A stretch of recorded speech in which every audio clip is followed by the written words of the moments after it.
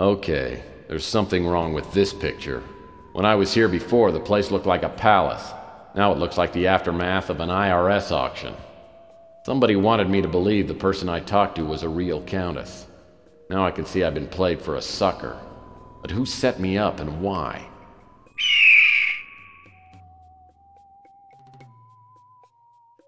There's a bald eagle perched on the chandelier. Man. Now that the animal rights lobby is huge, bald eagles are everywhere. They're worse than pigeons. The front door was open when I got here. The eagle must have flown in. Looks like it's got a bright cigarette case in its claws. I've heard that eagles are attracted to shiny objects.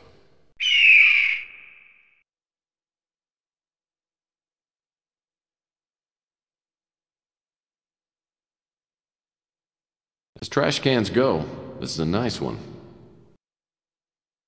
Searching through that fireplace could be a real pain in the ash.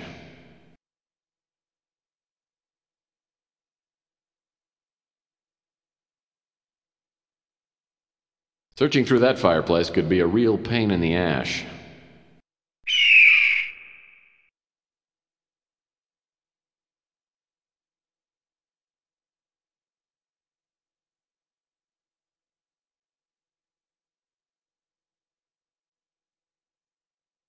Looks like the obituary section of yesterday's Standard Examiner. The ashtray's loaded with expensive imported cigarette butts. The ashtray's loaded with expensive. Whoever that was that met me here the other night may have set me up, but I'll bet you didn't get her cleaning deposit back.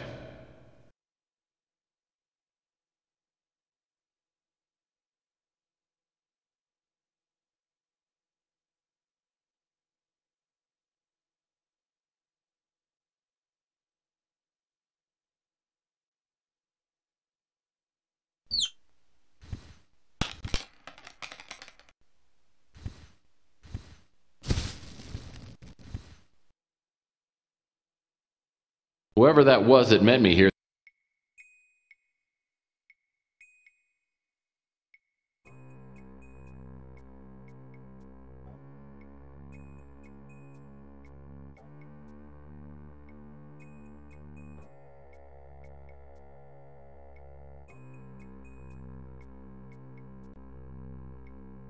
Only the most callous criminal would be so careless with plant life.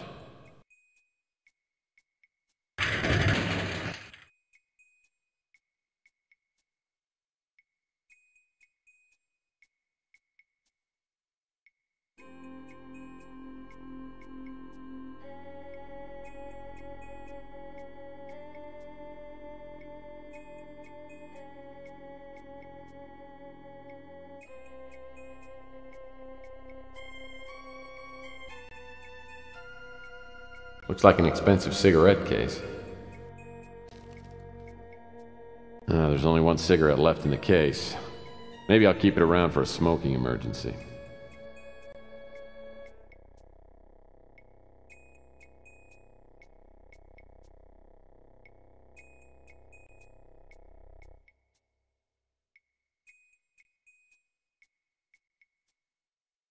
The ashtray's loaded with expensive imported cigarette butts.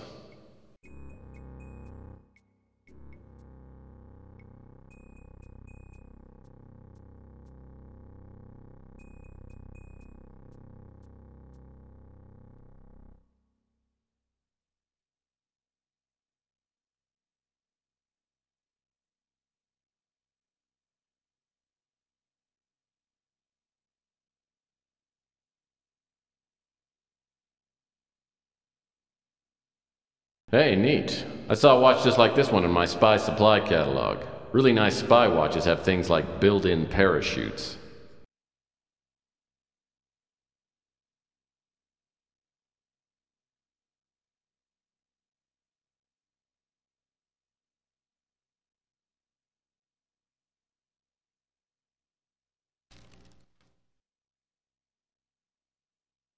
Maybe there's more to this watch than meets the eye. What's this? It's a secret compartment.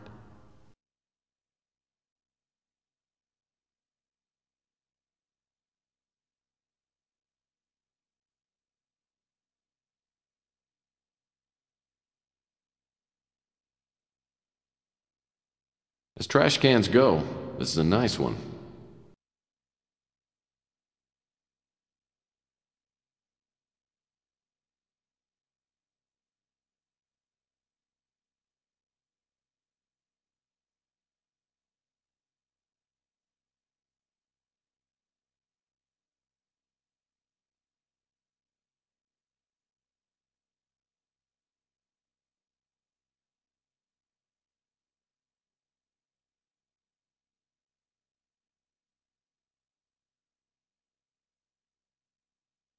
Trash cans go,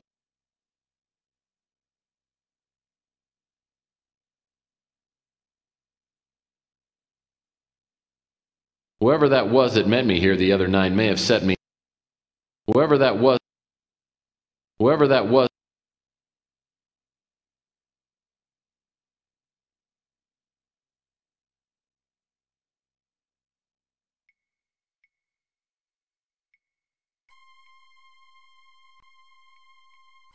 Whoever that was. Whoever that was.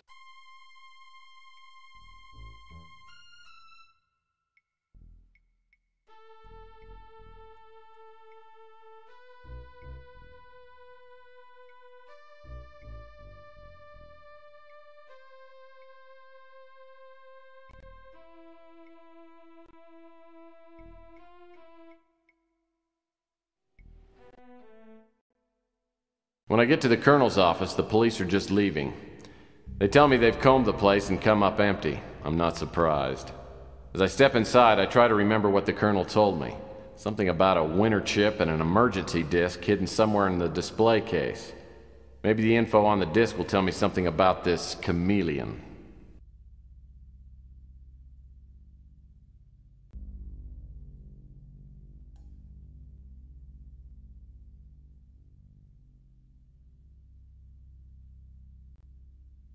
Colonel certainly does like his calendar spicy.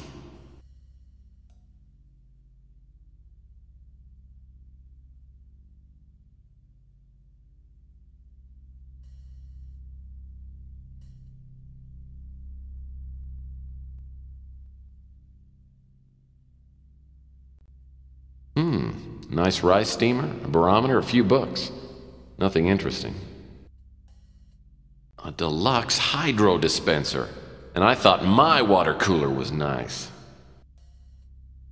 Rosebud.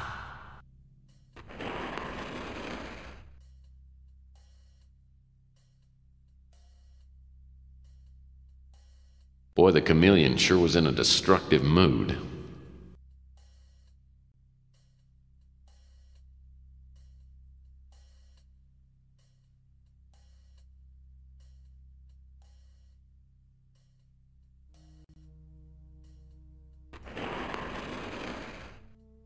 Sailing is one of the Colonel's two obsessions. The other one can't be mentioned in polite society.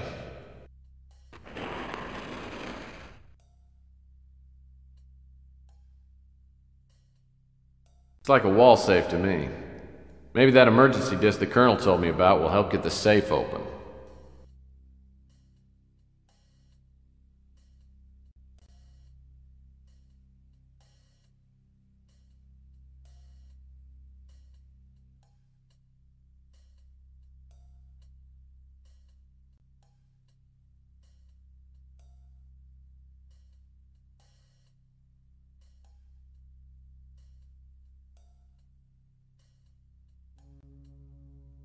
These desk drawers were probably searched by the chameleon, but maybe he missed something.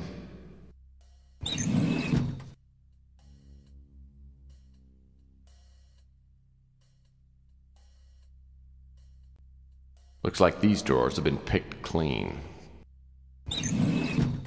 These desk drawers were probably searched. Colonel always did.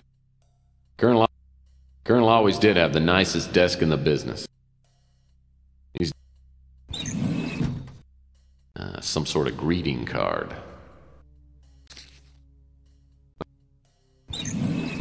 These desk drawers were probably searched by the chameleon, but maybe he missed.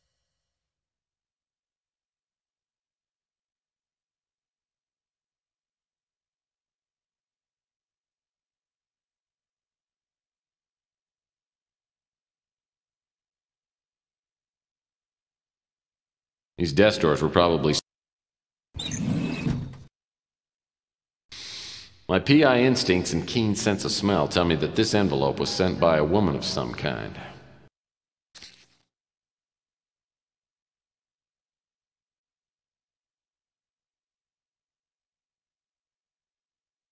These desk drawers were probably.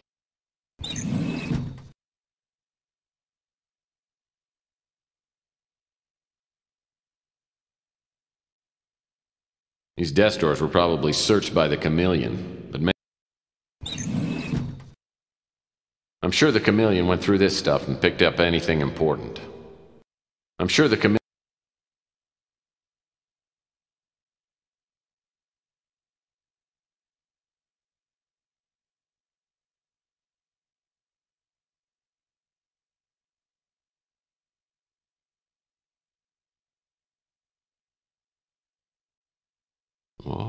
Nice bow.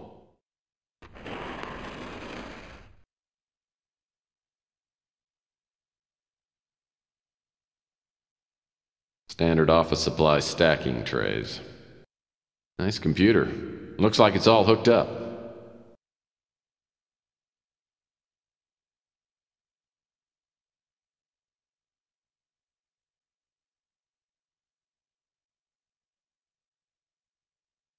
Picture frame's lying face down. Oh, nice looking dame. This must be the Colonel Squeeze. If I could track her down, maybe she could give me some more information.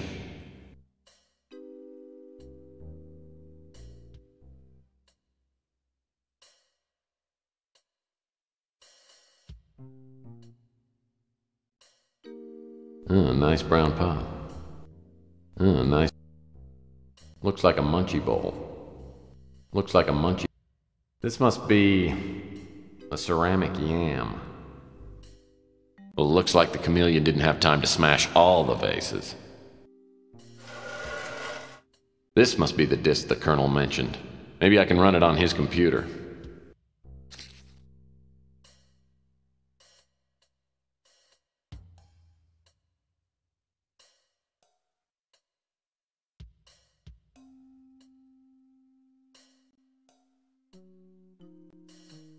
I should turn on the computer first.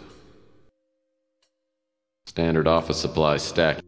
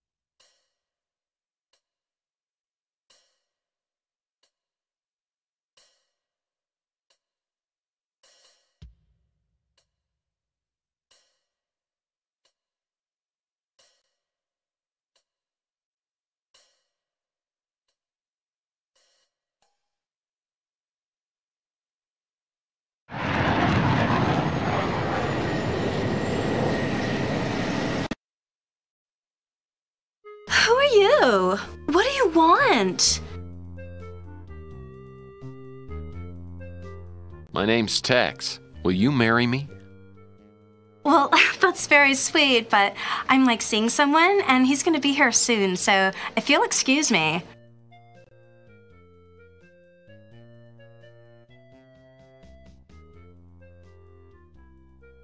I'm not looking for a date, sweetheart. I'm here to let you know that your boyfriend won't be coming by tonight. Maybe ever. Someone tried to murder the colonel. I don't know if he's gonna make it. He may be dead now for all I know. The Colonel? Dead? I can't believe it! I guess we won't be going to Bermuda next week. Bermuda, huh? You know, if you have your tickets already, you'd be ashamed to waste them. Hold on a second. How do I know that you didn't, like, kill the Colonel?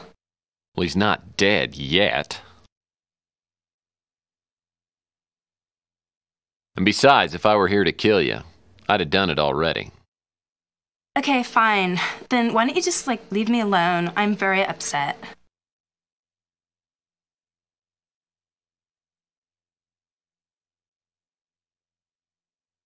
I have an item that the colonel was going to send you. I'll give it to you if you answer some questions. Okay, let's see it.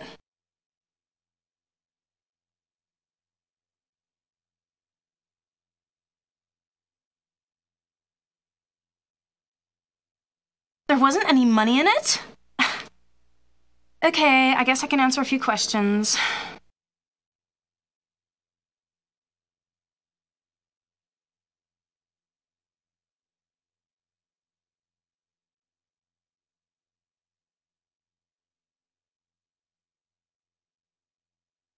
Well, he was nice to me, so I was nice to him. I mean, it was fun. I feel kind of bad now, though, because um, he gave me this package that I wasn't supposed to open unless something happened to him, but I opened it anyway. And I was so disappointed because there was nothing in it except for this stupid key. No money, no jewels, no nothing.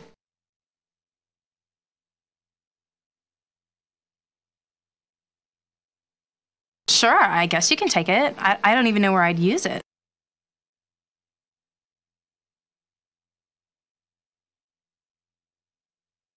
Well, I'm just a lonely girl looking for a new friend to play with. you might be fun, but you don't look like you have very much money. Chameleon? Oh, I feel so stupid. The Colonel mentioned that name a couple of times, but I thought he was saying he was getting close to getting his hands on like a million. I'd like to help you, but I can't. Are you trying to make me feel dumb?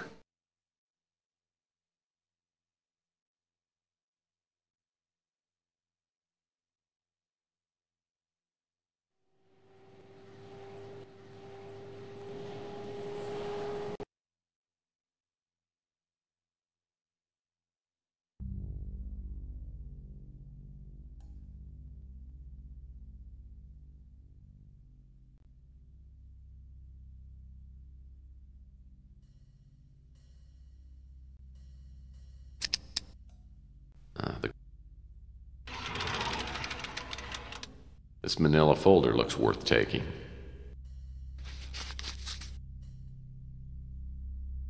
These documents are all in code. Hopefully the Colonel's got some sort of decoding manual around here.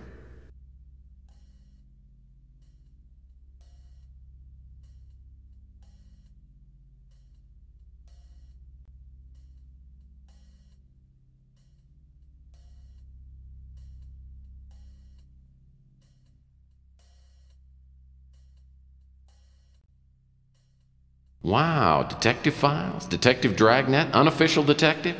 I've never figured out the Colonel's tendency toward tawdry smut. A small return receipt from UPEX. Apparently the Colonel sent something recently.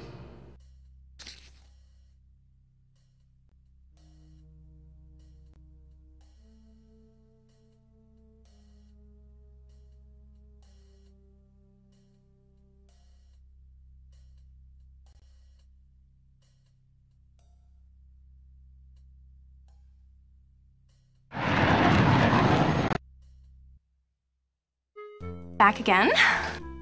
You know, I've been thinking, um, I think we could like be friends. You know, I think you should stick around and talk to me for a while, because, um, I don't want to be lonely. Normally, I'd pay good money to be friends with you. But right now, I just need to ask you something. Okay, but remember me the next time you got something burning a hole in your pocket. Cash, I mean.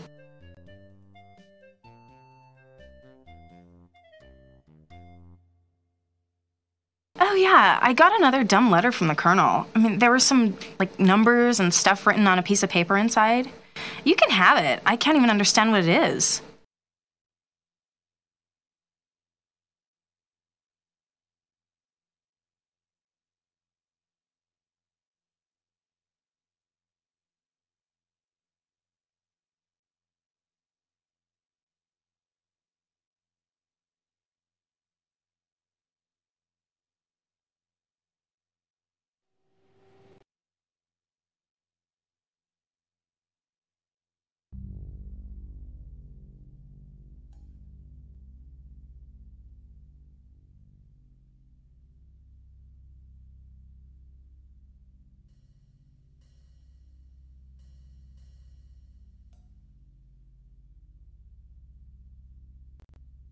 This must be the safe the Colonel referred to on the emergency disc. This is a top of the line security safe, and I'll need a combination to open this.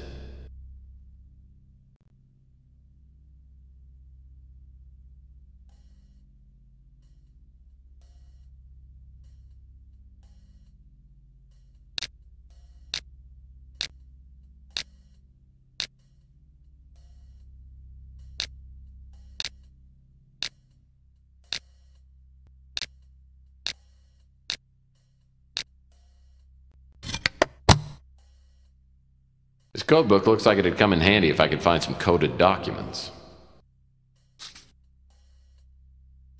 Now, this could be helpful in decoding the Colonel's file.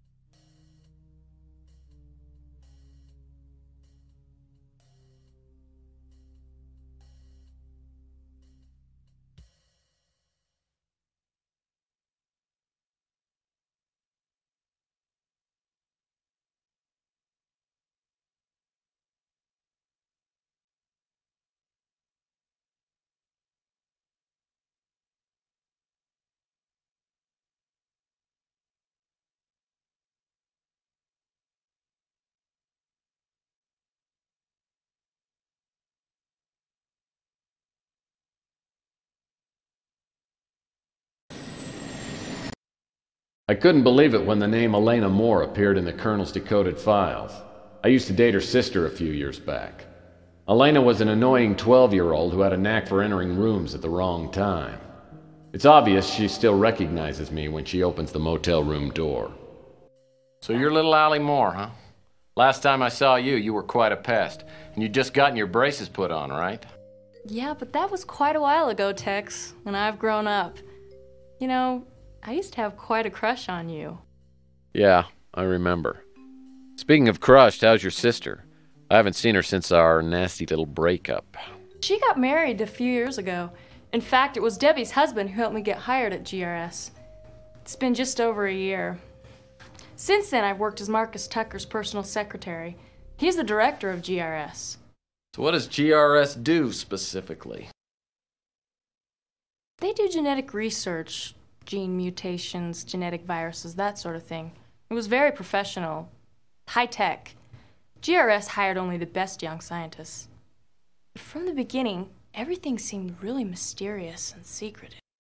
Is that why you quit?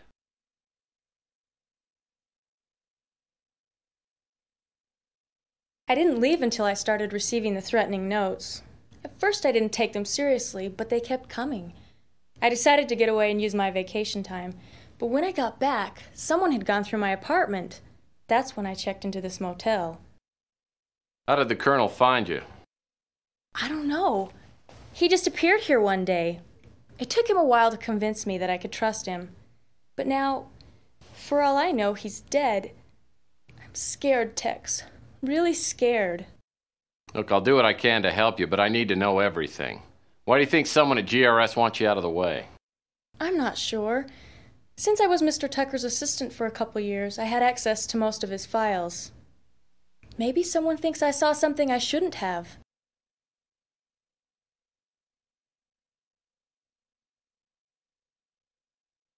Well, since you don't work at GRS anymore, why do you think your life's in danger?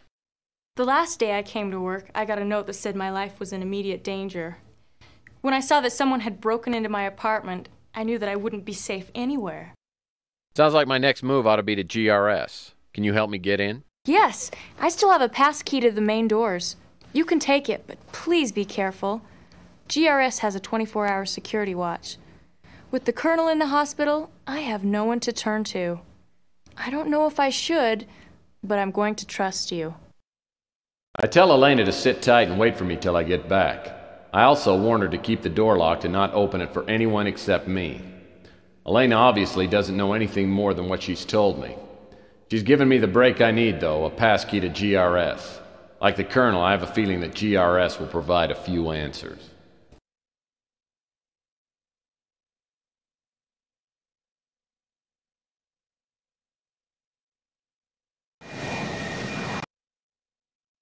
The GRS office complex is located in the heart of New San Francisco. Elena's passkey gets me into the lobby, which is empty. A directory shows Marcus Tucker's office on the fourth subterranean level. I take the elevator down. Before the doors open, I hear a warning. Attention! Lethal security probe on premises.